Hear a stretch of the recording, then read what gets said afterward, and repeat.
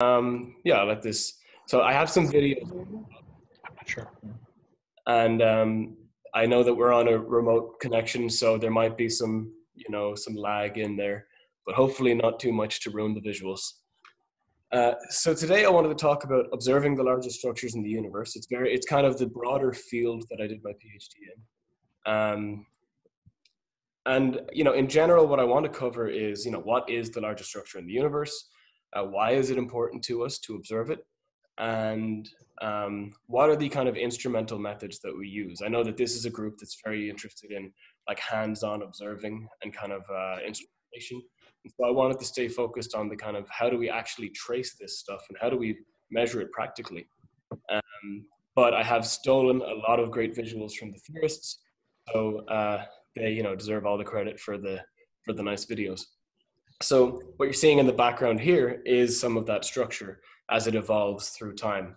And uh, I'm going to come back and show some more videos about it. But some of you may be familiar with the term cosmic web or even the instrument at Palomar, the Cosmic Web Imagers.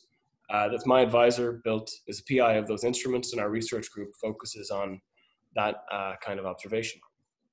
So uh, let me see, can I click to the next slide? Okay, so the early universe was quite uniform in density. We know this from the cosmic microwave background radiation. It's something that if uh, anybody has questions about, I'm happy to kind of get, get into later on. Um, but basically, we have some good observational evidence that the early universe was smooth in temperature or density to within 10,000. And over time, what happened is the tiny overdensity. So these there were small regions that were just a little bit like one part in 10,000 more dense than the adjacent region or less dense than the adjacent region. And those came from quantum fluctuations that got blown up during the Big Bang, during inflation. So, in the very early universe, just imagine the universe as this kind of soup, this gas that is spread almost perfectly evenly everywhere, but maybe in one place there's like one extra atom. There's just a tiny, tiny overdensity in somewhere. And what happens is the regions that are slightly more dense will exert a, a larger gravitational pull. And so they will pull more matter towards them. And as they do, they get even more dense and they get an even stronger gravitational pull. And so you have this runaway where the more dense regions become ever more dense and these kind of underdense regions become these big voids. And so what happens is kind of you can see this visual here, there are like three cubes and moving from left to right is kind of from early universe to late universe. So in the early, and this is a simulation, so you're seeing kind of real physics play out here. It's not not just an animation. And so you see on the left hand side, there's the kind of, you know, it's kind of messy. It's not perfectly smooth because it's not it's it's not exactly at the very start of the universe. But as it goes on, those differences become more exaggerated. And on the right hand side, you end up with this web like structure, these kind of filamentary structure where all of the gas has collapsed into these regions, uh, these concentrated regions. And because of the structure of this, it looks quite spider webby. We give it the nickname the cosmic web. And so this is on a very, very large scale. If you look at the small dots in here, these are like the small dots on the right hand side that you see are galaxies and clusters of galaxies. So this is some of the largest scale structure in the universe. Here is um, a snapshot from the Millennium simulation, which which used 10 billion particles uh, and put in like the laws of gravity and, and other physics to trace the growth of this structure. So it starts off at about 180 million years after the Big Bang, which does sound like a long time after the Big Bang, but in cosmological terms, that is quite close to the Big Bang because the universe is more than 13.5 billion years old. So this is fairly early universe. We would say at a redshift of about 20, or in more intuitive terms, when the universe is 180 million years old. And we're going to watch this initial density distribution uh, kind of collapse into more and more structure as the physics uh, takes hold. So I'm going to press play here. And first, all you'll notice is the, the brighter regions, the more dense regions start to become brighter, but you'll eventually see the gravity start to pull things together and you should gradually see these regions start to collapse in on themselves. And so what you're seeing is formation large scale structure, the formation of the cosmic web. And um, so ultimately, uh, this really kind of plays out primarily with dark matter in the early universe because dark matter dominates the mass budget of the universe. Um, but then all of the gas and the other matter kind of follows that. So it happens to both. But uh, we typically, when we see these simulations, what they're actually showing you is what's happening with dark matter. Uh, you can assume that the same thing more or less happened later on with the um, gaseous material, like you know a- atoms. Um, and so it forms this cosmic web. This here is a snapshot from a much more recent simulation, uh, Illustris the Next Generation or Illustris TNG. And you can see the cosmic web in a lot more detail. And you have these filaments. So we call these kind of filaments. We also call when you have like a big sheet of this gas, we call it a pancake. Um, and basically, galaxies and clusters of galaxies form where these filaments intersect. Um, so if you see, I don't know if you can see, can you see my mouse? Yes. Yes.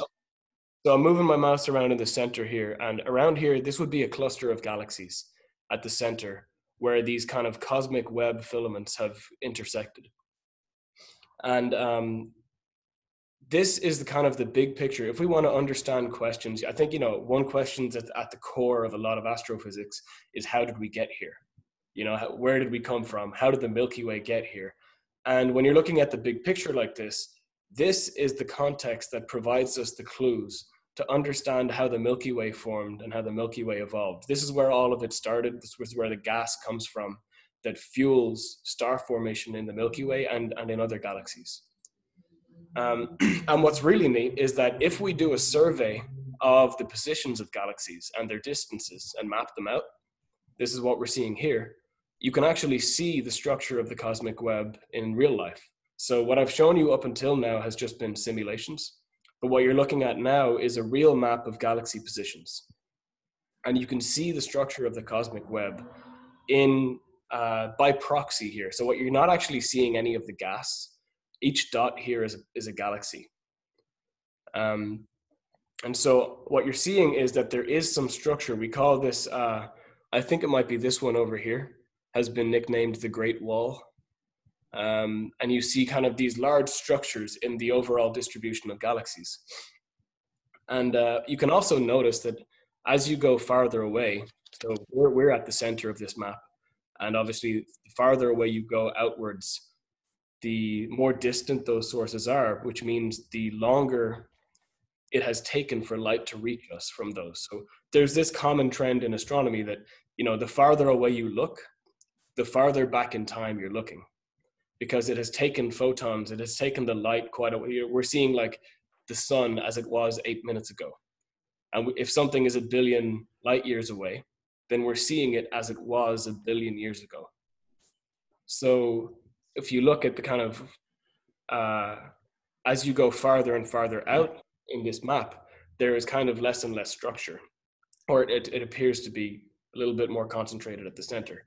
And that's kind of you're kind of seeing uh, some of the evolution of uh, oh this is this is pretty low redshifts actually so maybe that's more a matter of not having enough sources. Um, but one of the things one of the complications here is we can't see the gas very easily. On the left hand side in this simulation you're seeing the kind of simulated visible light and on the right hand side in the simulation you're seeing the actual gas density. And so when we look at the sky even if we wanted to just stare at these galaxies, it's not easy to see the gas that's connecting them. It's just incredibly faint, and it's incredibly faint for two reasons. First of all, it's it's very very low density, so there's not a lot of hydrogen, even though it's mostly hydrogen.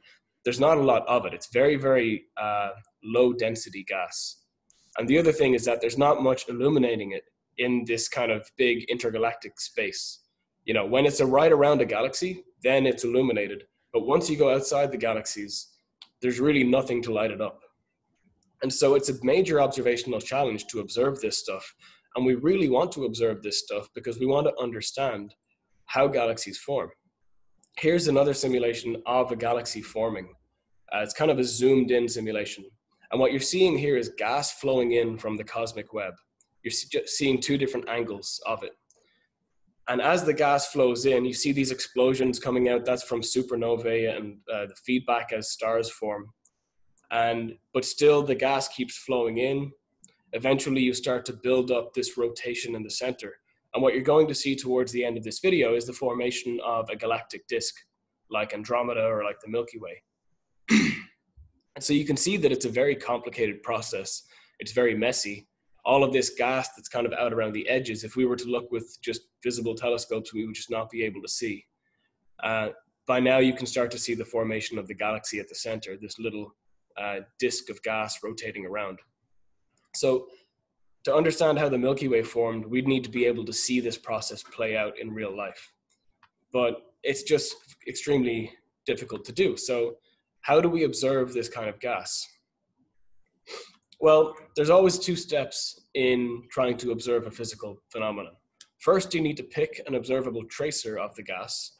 And then, obviously, second, you need to pick the best observational method to observe that thing. So let's deal with the first part first. Hydrogen is the most abundant element in the universe because in the very early universe we had uh, something called Big Bang nucleosynthesis or primordial nucleosynthesis, which is essentially the first atoms that formed before there were any stars, before there were any, you know, galaxies. And the vast majority of material in the universe, uh, that is baryonic material, I'm, not, I'm putting aside dark matter and other things for now, it, three quarters of the atoms in the universe are hydrogen atoms. So if we want to look at the cosmic web, it would make sense that hydrogen would be the first go-to in terms of what's going to be the brightest, what's going to be the most readily available source that we can look for. Okay, so let's say hydrogen atoms make, you know, if we can observe those, those would be ideal tracers of the cosmic web. So how do we observe hydrogen atoms? Well, uh, atoms can emit and absorb radiation. And basically a hydrogen atom is just proton and electron that are bound together. Now, when the electron changes energy levels, that's associated with the emission and absorption of light. So the most abundant hydrogen emission comes from this transition where the uh, electron goes from the second energy level to the first energy level. And um, it emits a photon we call Lyman alpha. Lyman alpha has a wavelength of about 121 nanometers, 121.6 nanometers, which puts it in the ultraviolet part of the spectrum. So hydrogen Lyman alpha is a good tracer of the cosmic web because hydrogen is abundant, and this is the most abundant source of emission for hydrogen. Um, and there are kind of two ways to look at atomic emission or absorption. You can either see it uh, to look for Lyman alpha or to look for any hydrogen line, you could see it in emission or absorption. So because the atoms have these quantized energy levels, they only emit or absorb at specific wavelengths and other sources like stars or galaxies kind of emit at a broad range of wavelengths. So on the top here, you're seeing an example of what a spectrum might look like if you disperse the light from a, a nebula and you see uh, the atomic emission, there's only certain specific colors or wavelengths that are emitted. Whereas on the bottom, if you had some background source illuminating a cloud, and then that cloud absorbs certain photons, then what you would get is a full kind of rainbow of color where those atomic uh, uh, transitions are missing. So you kind of you can look at an emission spectrum or an absorption spectrum. And I know some of this is kind of uh, well known to to a lot of you, or maybe all of you, uh, but I'm kind of trying to go just through the uh, the fundamentals of of this observe uh, observing process. So we're going to target atomic hydrogen in order to observe the cosmic web. And we know that we can see these in either emission or absorption. And those are the two main categories. And so what I want to do for the rest of the talk is look at the methods we use uh, in emission and absorption to trace the cosmic web. So first, the absorption methods.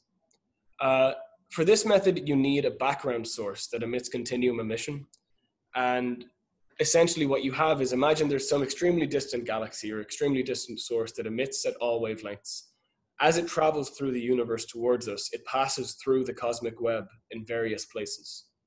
And when it passes through that gas, the gas absorbs some of the light. So by the time it reaches us on Earth, it has imprinted in it the signature of the cosmic web, wherever it has been absorbed along the way. And there's a, kind of a lot of additional complexity to this in terms of determining where exactly those uh, absorption lines occur. But the kind of in a nutshell version of it is that if you look at a distant enough source so that there's some cosmic web between you and the source, then you can see absorption lines which show where the cosmic gas kind of uh, absorbed some of its emission. So quasars provide the best opportunity to do this. Quasars are galaxies containing supermassive black holes, which material is falling onto. And as the material falls into the black hole, it emits this hugely energetic radiation. And so the, the, the reason quasars are useful is kind of twofold. First of all, they're some of the brightest objects in the universe. But second of all, we can see these bright sources in the distant universe, billions of light years away. So this means that there's a lot of cosmic web between us and the quasar. So they make great candidates for absorption studies. So if you're observing a quasar that's, you know, 10 billion light years away, you can probe 10 billion light years distance worth of the cosmic web. Think of it just as a probe. You know how when they take uh, core samples, like ice cores in Antarctica or in, in the Arctic, it's kind of basically the same thing. You're taking a one dimensional slice through the universe by looking at emission from this source. So here's kind of a visual illustration of what happens. We are over here on the left. I think that's the, the Hubble telescope. And we're looking through a particular portion of the universe, and you can see the cosmic web kind of colored in here. Now, in the distance, in the distant universe, there's a quasar, and we see that the quasar emits at all wavelengths. As the light from the quasar travels towards us through the universe, it absorbs, it gets, uh, the light gets absorbed by the cosmic web more and more. So the more it travels through the universe, the more different kind of absorption lines show up in that emission. So by the time the quasar emission reaches us, it started off looking like this rainbow up here, but by the time it reaches us, it has all of these absorption lines from the cosmic web.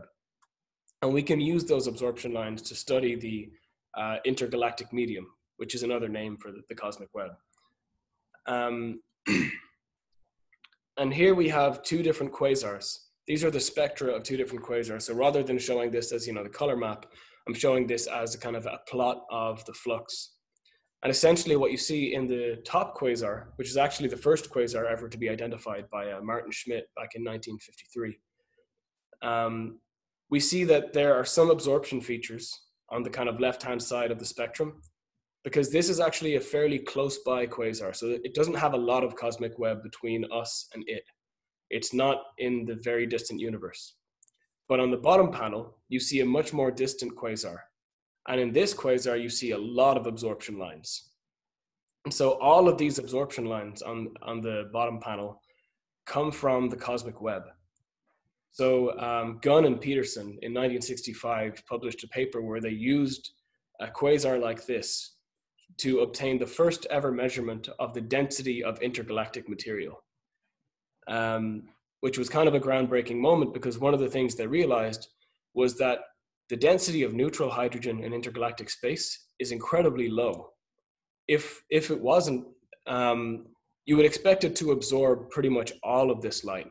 But what they found when they did this study was that there actually has to be very, very little neutral hydrogen in the cosmic web. It's almost all ionized. So absorption studies are a really important method for us to study the cosmic web and the intergalactic medium.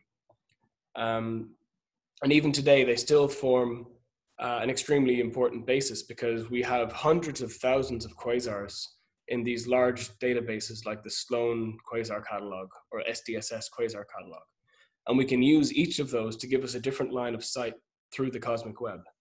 So by using hundreds of thousands of quasars, we can build up a three-dimensional picture uh, of the cosmic web.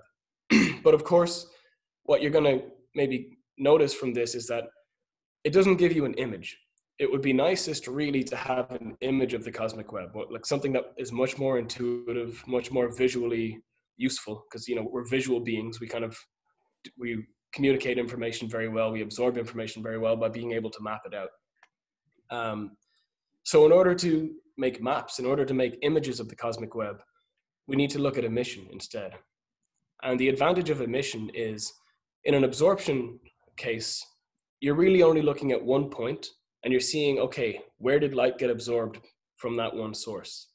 But in emission, you can create a full two dimensional image if it's bright enough for you to target.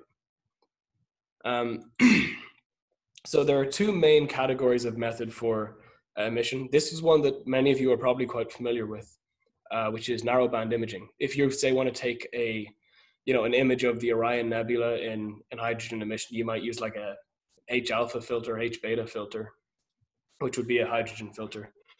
So basically, a narrowband filter, they're expensive to make, uh, which is one of the drawbacks of them. But a narrowband filter only allows a small range of wavelengths to pass through, something on the order of 0.3 nanometers. Um, so, you know, 30 angstroms to 40 angstroms, um, or 0.3 to 0.4 nanometers. So this is one way you can do it. If you know exactly what wavelength the emission is going to be at, you can construct a narrowband filter to isolate that emission and then just pop it into a camera, go and try and image the cosmic web. This method is good because it is efficient. All you have is a filter and a camera. And so there's not a lot of complicated optics happening. It's just simple. You just, it's kind of like one of the most you know, I think generally the simpler an optical setup is, the more efficient it's going to be. You don't have more mirrors where you can lose uh, efficiency. You don't have, uh, you know, different gratings or different optical elements where you can kind of lose some light. So um, custom filters can be designed to allow only a narrow range of wavelengths to pass through, and we can design those to target the atomic hydrogen emission. Uh, this image that you're seeing here is one of the first very kind of large detections of a portion of the cosmic web through narrowband imaging. It comes from uh, Sebastiano Cantalupo et al. Back in 2014, they used the VLT, I believe, down at the European Southern Observatory, um, to study this nebula called the Slug Nebula. And while it's nowhere near on the same scale as the simulations I was showing you before, it is one of the most significant or the earlier most significant detections of uh, a filament of the cosmic web as it connects to a galaxy. Now, the two bright sources you see in this image are quasars. So the reason you can see this gas is that the gas is illuminated by the quasars. Typically, this gas would be too faint to actually observe like this, but the quasars just boost it by orders of magnitude so that we can actually detect that flux in a reasonable amount of time. So this was a pretty significant discovery um, because this the size of this nebula is about 400 kiloparsecs. For reference, I think the Milky Way is about 30 kiloparsecs in size. So this is on the order of you know tens of galaxies in size, uh, more or kind of on the order of the dark matter halos that surround galaxies. Still, what we would call the um, circumgalactic medium. So the cosmic web is kind of made up of two constituent parts. There's the intergalactic medium, the gas between galaxies that's just floating out there in space. And then the circumgalactic medium is a bit different because it's close enough to galaxies that it gets enriched by outflows, where like uh, the heavy elements that are formed by stars, like carbon and oxygen and everything, get kind of blasted out and mixed up with that gas. So this gas would be circumgalactic medium. So it probably has helium and carbon and oxygen it's not like the true intergalactic medium out in the middle of nowhere.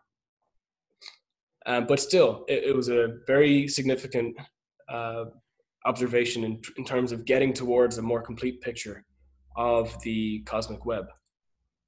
The other method that we can use, and this is the getting into what I did in my thesis, is spectroscopy. I'm sure most of you are familiar with the, the basic concepts of spectroscopy, you, um, or, or at least the Pink Floyd uh, album cover, but you kind of um, you you know you take a light source and you split it into its constituent uh, parts. And in terms of what we want to do, the the powerful aspect of this is that we can select with which wavelengths we want to study just by kind of moving the camera around. So you see, as an example here, right, we have a white light source hitting a prism, and then it's getting dispersed into its red and blue wavelengths. Imagine we place a camera wherever we want along this axis. We can move that camera to focus on blue light or red light or green light, or you know, the more the more we disperse the light and the more we can control the camera, the more we can control exactly what wavelength range we see. And this gives us some flexibility. Narrowband images are good. And if you have a filter that's ideal, then that's great. But oftentimes you don't know exactly what wavelength you want to observe. So spectroscopy gives you this extra flexibility where you can look at a wider range of wavelengths and then focus in on the ones where the emission appears. And so there are a number of ways to do spectroscopy, but they all boil down to uh, how you break up the field of view before you do the dispersion. Uh, so essentially, imagine you have a star, right? You can take all of the light from that star, put it through a prism, and then you'll get a single spectrum out. But you won't get any spatial information. You won't be able to measure the size of the star or see anything around the star. You would just get a point source that you're dispersing. That's the kind of simplest version of spectroscopy. Um, uh, so first, I want to cover some some of the basics of spectroscopy because we're going to start looking at data formats that are not very intuitive. Once you get into looking at wavelength as an axis and space as another axis, it starts to become less intuitive compared to images. So I want to kind of step into this carefully. Um, so imagine we have a source. We're going to put a slight, we're going to put like a slit, a narrow slit down over that source, which is this red one here. And even though this slit does have some actual width, let's pretend that this slit is one dimensional. So for all intents and purposes, it doesn't have a width. We're just gonna say it's, it's extremely narrow. What we're gonna do then is take the light that passes through the slit and we're gonna pass it through a dispersive element, such as a prism. And then what we will get is a two-dimensional image. Now, in this two-dimensional image, one axis shows us wavelength and the other axis shows us space. So what that means is if you look at the position of where the star is along the slit, at that position in our image, we have a continuum. We have a rainbow from the star. And because there are no other sources, we don't see anything else on either side of the star. But imagine, for example, then, um, sorry. So this is called long slit spectroscopy. You get a 2D image where one axis shows wavelength and the other axis shows position in the slice. If we have two stars, then you might get a 2D image that looks a bit like this, where we see two uh, continuum, we call these traces. You see two traces, one from each star. And so this image gives you a better sense of along the y-axis or the vertical axis, you're seeing position. And then along the x-axis, you're seeing wavelength or color. And so imagine there was a cloud of gas between these two um, objects if there was a cloud of gas between these two, then between the two stars, you might see these atomic emission lines. And so parsing this image is kind of is an important part of being able to understand the more complicated instrumental method uh, that I'm going to get to in a minute. But basically, yeah, so you see position along the y-axis. This star is this trace. This star here is the bottom trace the cloud in the middle shows up just as narrow emission lines because the hydrogen doesn't emit at all wavelengths.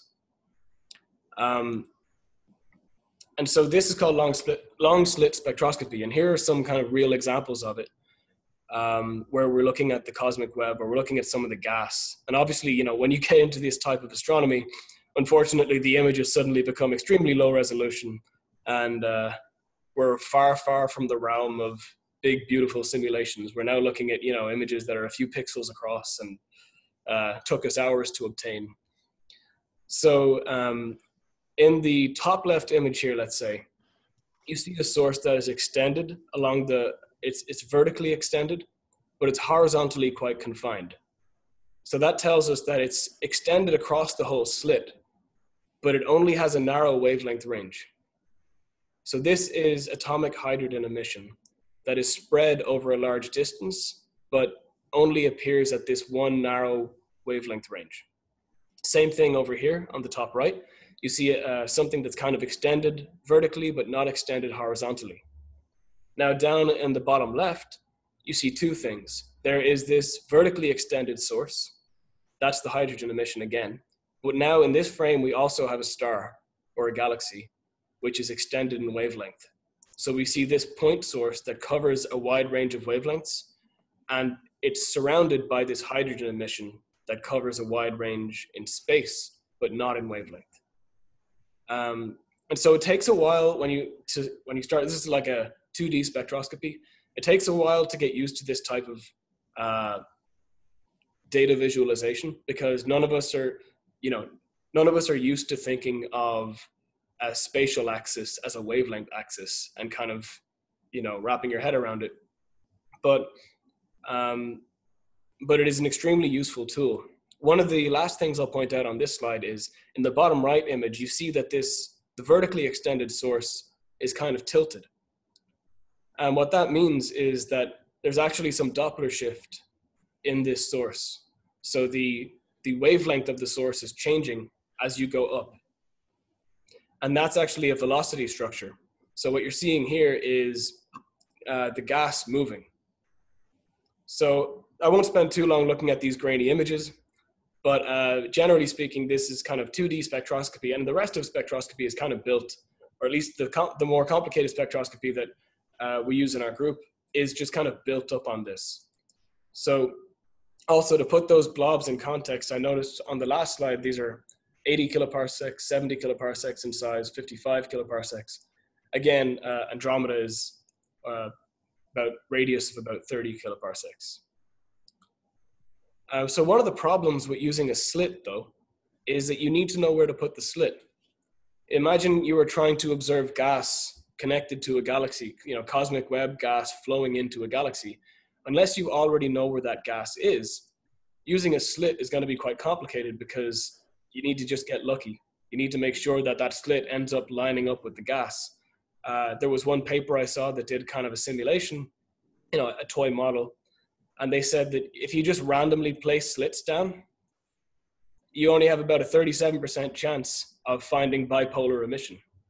Um, and so, you know, long slit spectroscopy is great in terms of its, uh, it's a very simple and elegant instrumental tool.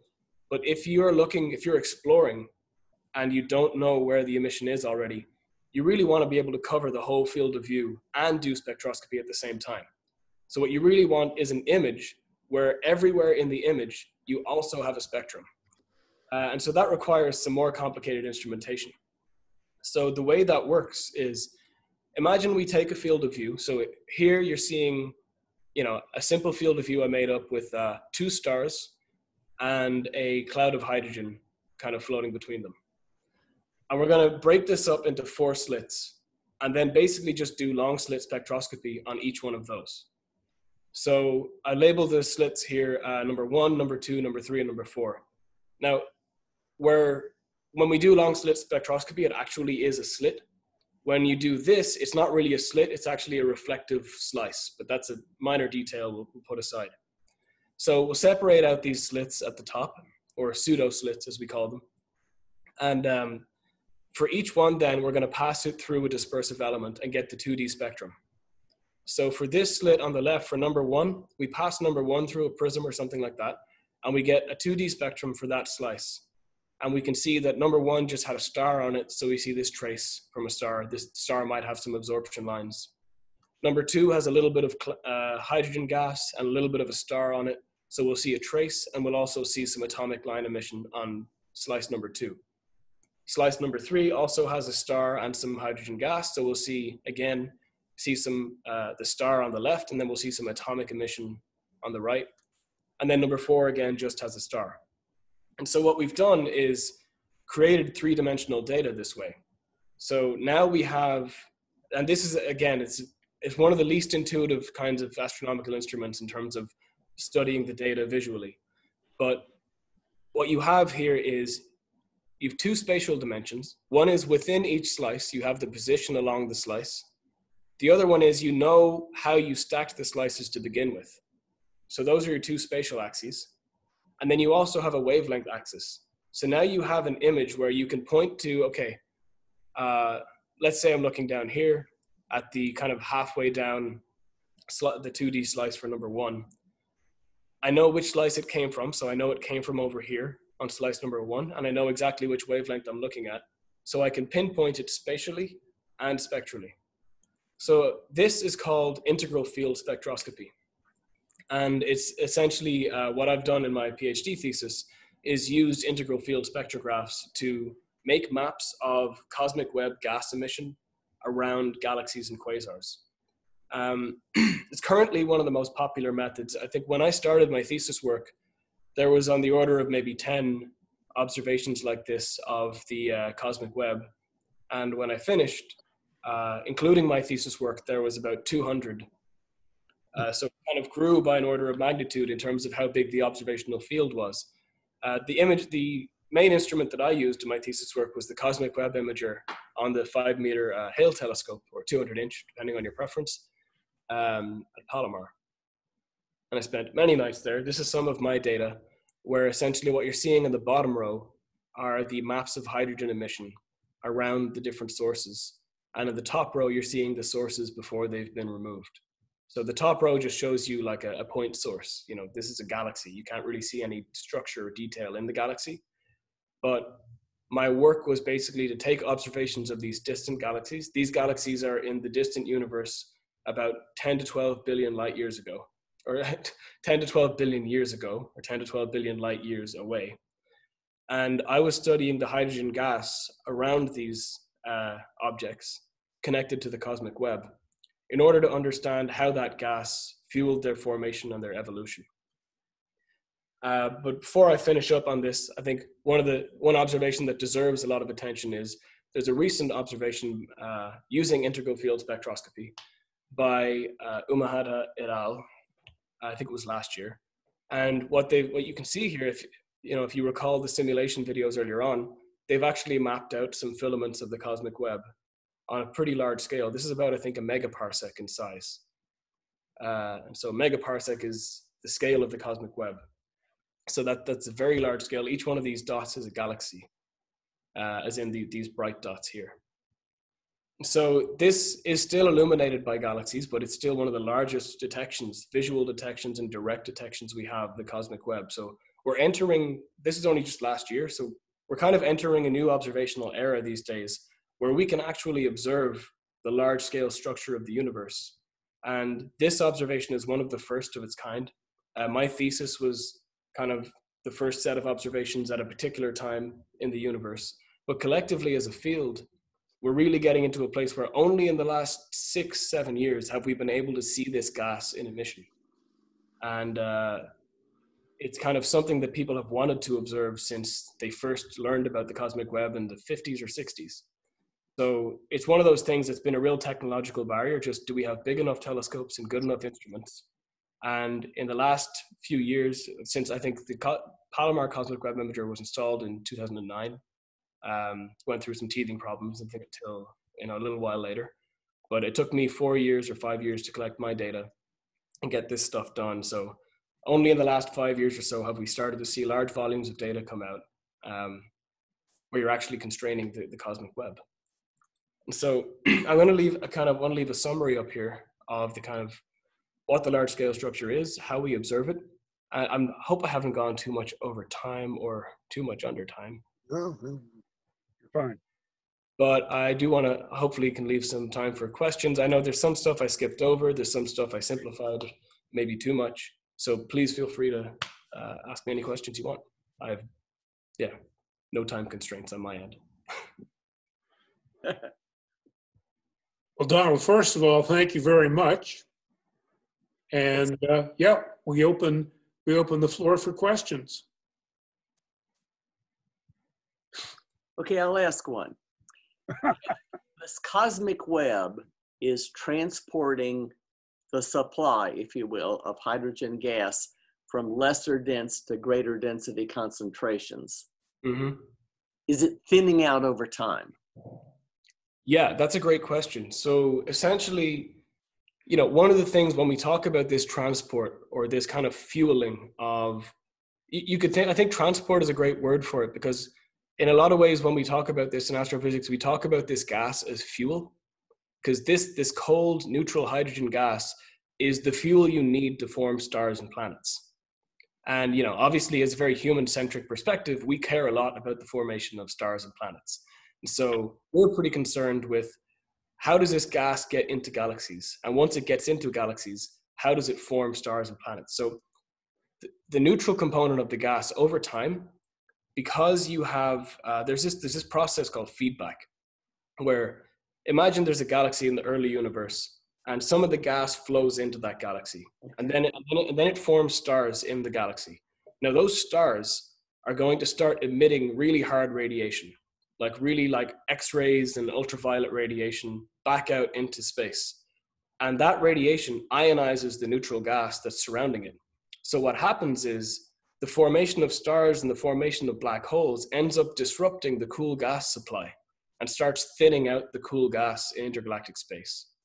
And so over time, all that neutral, neutral gas, the neutral cold hydrogen, starts to be disrupted and thinned out because of radiation from stars and galaxies, as well as uh, explosions like supernovae and uh, feedback from black holes, like the big energetic jets from black holes. All of these energetic processes heat up and ionize the gas that's in the cosmic web until there's no neutral gas left.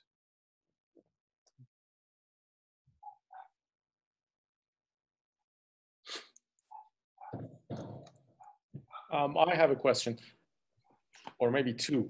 Uh, first of all, can you tell me about uh, at what scale does the dark matter rule the universe, and what is, and at what scale does the dark energy rule? Uh, That's a good question. I, I, can't. Let's see. I can tell you that the dark matter stuff is is more in my uh, my field, and I can answer that a bit more confidently. When I when I get into dark energy, it's it's you know I I'd learn a lot from Wikipedia just reading a page. Like there's, uh, it's not, it's not really in my uh, uh, area. But let's say so. T- to start with dark matter, dark matter dominates on kind of galactic scales. So one of the earliest pieces of evidence for dark matter was when people looked at the rotation of galaxies, and what they wanted to see or what they were looking at was okay. Well, we know Keplerian rotate. We know how gravity works, right? So we should be able to predict what the rotation of a galaxy would look like based on the material that we can see in the galaxy. If there's this much mass, then this is how fast it should be rotating. And so they look at these, they look at the galaxies and they mapped out based on the visible material what the rotation profile should look like. And in the center, it, it lines up pretty well. The, uh, the center may be a few kiloparsecs or 10 kiloparsecs of the galaxy. The, it rotates about what you would expect. But once you get outside the galaxy a little bit, on the order of tens of kiloparsecs, suddenly the velocity doesn't drop off as quick as you would expect it to. Um, the velocity actually kind of levels out, implying that there's more material there than you can see. And so this early on, people were debating over, okay, are the rotation curves wrong? Or is there, are there more planets or black holes than we can see? Or is there a new, entirely exotic type of material that we just can't see? And uh, so that's a long way of saying that once you get outside the scope of like a galaxy, on those kind of slightly larger than galaxy scale, that's when dark matter starts to dominate the gravity um, of of uh, of a galaxy.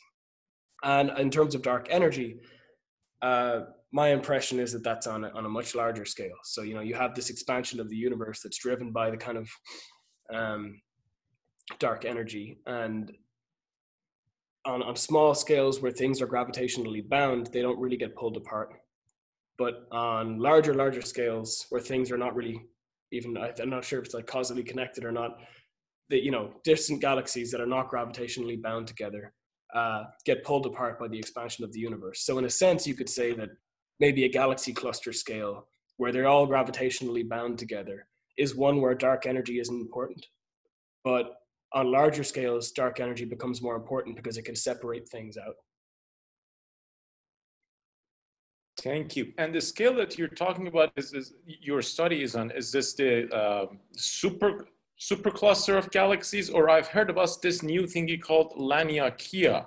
Uh, how, how, does that, where does that come into play? I think, is Laniakea, it is a supercluster, or is it the name of a supercluster? I'm not as familiar with it, but the the observations that I would have is if you look at this slide that's up here, kind of just like this central nodule, right, would be the scale that we're observing. Um, so we're observing maybe a cluster of galaxies, not even a supercluster, because one of the difficulties with this observational method uh, is field of view. Getting like a big, so you know how I, I was showing earlier on, you divide your field of view up into slices. Well, yeah in order to do that for a really large field of view, you either need really thick slices or you need a lot of slices. right? Because each of them needs to cover a large area, or you need a lot of thin slices, and that becomes really expensive to fit all of those spectra on a detector. Uh, so it actually becomes like a spatial constraint. It's really difficult to make a big uh, an instrument that does this type of spectroscopy for a large, large field of view. And that's another advantage to narrowband imaging. A narrowband imager can have a very large field of view. So if you knew exactly, you know, if you wanted to observe things on a supercluster scale or like a megaparsec filament scale, like one of these, see one of these filaments here, your best bet might be to, uh, at the moment, identify what the wavelength of the emission is, create a narrowband filter for it, and then uh, take an image with a, a big telescope and not an integral field spectrograph. On your, uh, on, on the CWI instrument, uh, are slices implemented in hardware or is it slice and dice done with software? Yeah, let, let me show you. I think I have a backup slide here somewhere um, that has an image. So this is an image of the slicer. So what, what you have on the, on the left here is basically, it's a little aluminum block that you put in the focal plane. And each slice redirects a portion of the field of view to uh, another mirror. So you're, you're, cho- you're, in hardware, you're chopping up the field of view into these little aluminum slices and then reflecting that light off to, uh, so this little block here in, in figure A is positioned over here, kind of in the middle of figure B. And what happens is the light comes in, it hits that little block, and then each slice gets redirected to one of these pupil mirrors. And so there's actually this whole optical setup for chopping up the field of view into uh, smaller components. And then each of those gets kind of rearranged and put through a dispersive element. So all of your starlight is bouncing off the edge of little aluminum sheets? Yes, Okay. with, uh, you know, hopefully with good ref- It doesn't seem as elegant as the um, Hale telescope mirror. Not quite. Well, it depends on your definition of elegance, I guess. Um, you know, if you, what I think is elegant about this is, uh, it, this is not the kind of thing that you could really do in post processing necessarily, um, because if you just took a whole field of view and then put it through a prism, what you would get is uh, that whole field of view would be kind of smeared out in different wavelengths, and it would be very, very difficult to kind of extract the different images of it from one another uh, because you'd have overlapping spatial and spectral information. Uh, and so what you what is nice about this kind of design is it lets you uh, it lets you kind of you know split up your field of view, get a spectrum for each size. That the, the post processing side then is on reconstructing the 3D data. But what's nice is that you know you don't have to do any very complicated extraction. It's all it's all kind of done in real time by the optics. And what's the range of uh, the number of slices that you can implement? So it depends on your budget. Um, so in the in the Palomar Cosmic Web Imager, there are 24 slices. Um, there is a you know behemoth of an instrument in in the at the European Southern Observatory that the European Union threw a ton of money at, and it's called the it's called MUSE, the Multi-Unit Spectroscopic uh, Explorer, and it has 24 separate. It's basically 24 separate instruments in one big instrument. And each of those has 24 slices or something like that. So that one that instrument has it's really just kind of you know how much money and time can you throw at uh, designing your instrument? Because you could keep adding slices it just gets very expensive. Thank you. Do you lose light through the splicer compared to a long slit spectrograph? yeah so one of the major trade-offs of integral field spectroscopy are, is the kind of complexity of the optics. And you know as a general rule the more surfaces you add to an instrument the more light you lose. Uh, so i mean spectrographs in general tend to have their biggest losses in the dispersive elements. Uh, like prisms or gratings tend to be lower efficiency than you know mirrors. Um, so yes you do lose extra light because of your um, because of your uh, additional reflective elements in an integral field spectrograph. But compared to a long slit spectroscope or a um, spectrograph, I I don't think it's huge. I think it's pretty big compared to an imager. Like you, you're looking at a total end-to-end throughput of about 30%.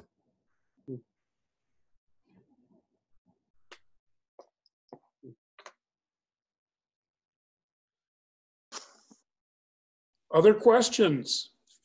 Other questions? Do I understand correctly that matter in the cosmic web is being concentrated over over billions of years? And my real question is what if that is correct, what is that telling us about the fate of the universe? yeah. Um, so it really depends. So first of all, yes, that, that is correct. Um, basically what happens is the universe is undergoing this process of kind of runaway collapse, this positive feedback loop of regions that are more dense have a larger gravitational pull. That leads to them being even more dense with an even larger gravitational pull. And so it just keeps going. It's kind of like how a star collapses. A star ultimately crosses this threshold where um, you know it, it gets more dense it has more gravity it gets more dense it has more gravity and it just keeps going. The same thing is happening to a you know a less dramatic extent uh, with the cosmic web. And what it tells us in general as we've seen as we one of the good things about you know studying distant sources that we can study the evolution of the universe by looking at distant sources because we're seeing them as they were a long time ago. And one of the things we can tell about the cosmic web is that it, it has gone from a state of being a lot of you know cool neutral hydrogen filling up intergalactic space to you know flowing into galaxies forming stars becoming much more hot, uh, much hotter more ionized more enriched by heavy elements like carbon nitrogen oxygen. So if we were to extrapolate that forward you know in the future we expect probably that the cosmic web will have little to no uh, cool gas remaining in it and it would be much more enriched because they would have more and more generations of stars pumping out heavy elements. Um, and you know depending on your you know it gets speculative when you start to talk about really large timescales because then it gets into a question of does the universe keep expanding or does it you know contract again? But if the universe let's say stays steady or keeps expanding at some point then you look at the heat death of the universe where you know there are no there's no more fuel to form stars. Everything is in black holes or you know tiny red dwarfs that burn for trillions of years. Um, so yeah, I mean it doesn't paint a great picture in, terms, in, terms, of you know, but luckily we won't. I know that's probably in a billions of years ahead. Uh, times. I have a question. In the beginning of your talk, you mentioned that we the simulations and well, your simulations begin at 180 million years after the Big Bang, which is essentially right with it. And then you said it's almost, and I emphasize the word almost, uniformly distributed. Yeah. So, so uh, from that point on, it's very easy to imagine the how the structure forms by the runaway process, gravitational process you just described. But what are the theories about the original non-homogeneity of this, let's say the starting brew, if you will? Yeah. So that that is referred to typically as anisotropy, um, uh, as opposed to you know uh, something is isotropic. This is anisotropic, and so one of the I think I have a slide here somewhere. I had a lot of backup. Yeah, here we go. So this is a map of the cosmic microwave background radiation. This is from uh, only moments after the Big Bang.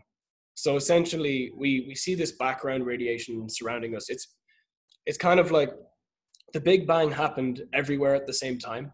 So some radiation is still reaching us from very, very distant parts of the universe where like we're just now seeing the Big Bang happen in that place really far away.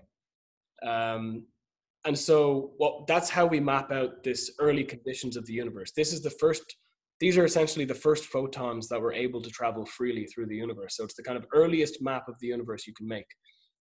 And um, what you see here is that these red and blue regions they're only you know 0.0002 degrees i think in, in terms of the difference. And the whole map has a rough temperature of 2.73 degrees kelvin.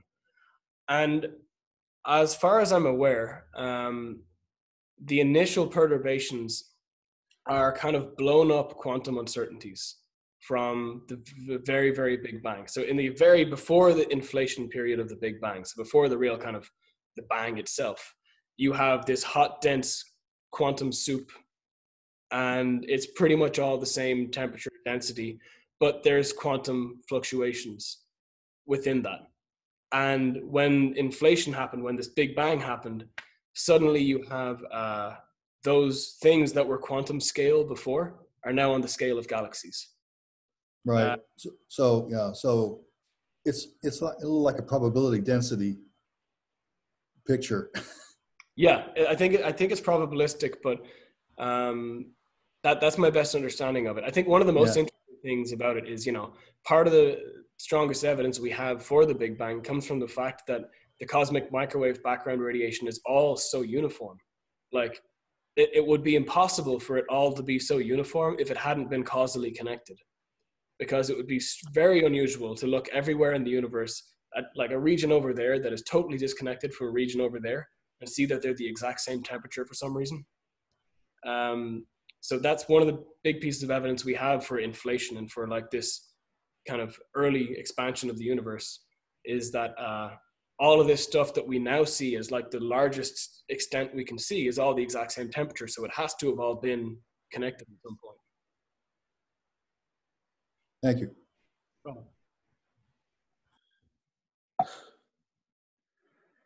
Does, will the structure or the geometry of this cosmic web change over time? I'm imagining uh, minute differences in gravity at the early uh, universe, and that produced this. Gravity is like a difference in potential in electricity, and so you get a geometry for the transport. But now we've got much bigger sources that are radiating a huge amount of energy. Does that is that going to morph the geometry? I think so. Yeah, I think one of the one of the core kind of concepts of the structure for, of of what we call structure formation or like large scale structure formation is uh, hierarchical growth. So basically, in the early universe, you can imagine there were all of these small pockets of dark matter, right? And they all came from the initial fluctuations, the initial perturbations but over time they they start to meld together and they start to coalesce and form bigger and bigger dark matter halos. And so this combining of different uh, dark matter structures into larger and larger dark matter structures we call hierarchical growth.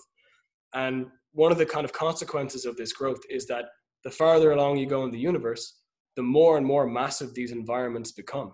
So whereas in the very early universe it would have been extremely rare to see you know a dark matter halo that is 10 to the 13 solar masses or something like that in mass. Uh, in the present universe, it's much more likely because there's been this history of things merging together. And one of the consequences that has on the structure of the cosmic web is that these much more massive environments uh, contain, you know, much more energetic radiation. There's like this kind of uh, what we call synchrotron or free free electron radiation. But basically, more massive environments are more energetic, and more energetic things tend to exhibit uh, radiation. And so you get this kind of hot gas resulting from these clusters, and that disrupts the cool gas of the of the cosmic web. So I would expect over time these filaments of cool gas start to break up, and all of the gas starts to end up in these clumps. Uh, and those clumps end up probably drifting farther and farther apart because of the expansion of the universe if that continues. Uh, so probably you end up with just different pockets that are separated uh, as opposed to these big stringy filaments. Thank you.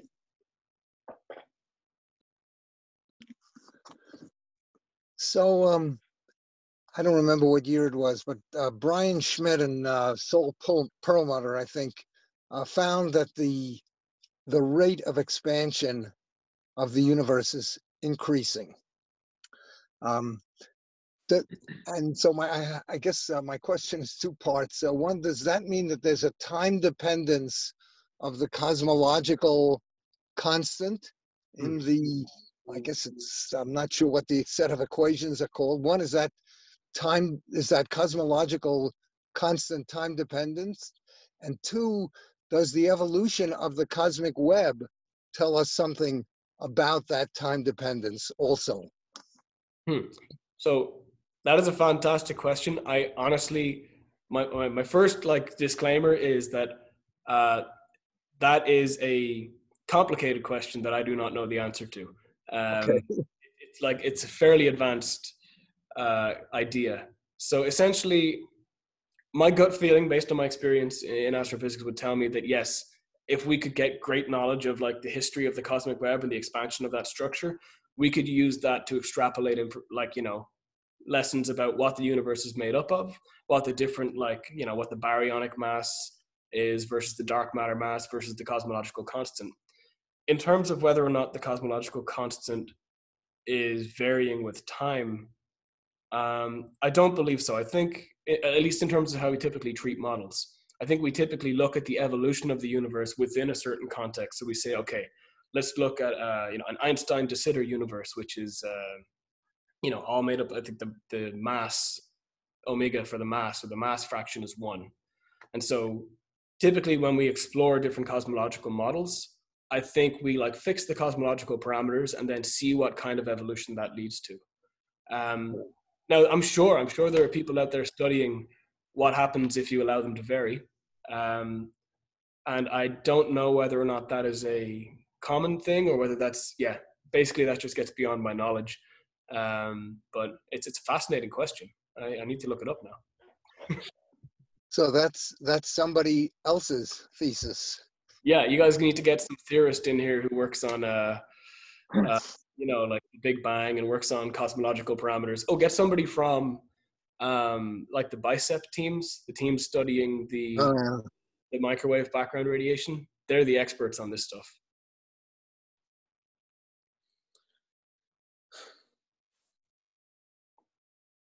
Well, if there are no other questions, again, Donal O'Sullivan, thank you very much. Thank you for having me. And um, let me point out, next next week, our our next session is next week. Um, next time, Mike Burton will talk about the role Palomar Observatory has played in our nation's popular culture. Talk about moving from the sublime to the ridiculous. Uh, Does Palomar have its own rock band? excuse me?